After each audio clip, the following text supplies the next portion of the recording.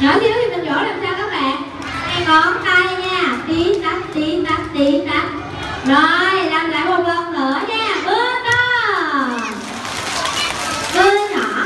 Tưng tưng tưng tớ tí tách tí tách tí tách rồi các bạn.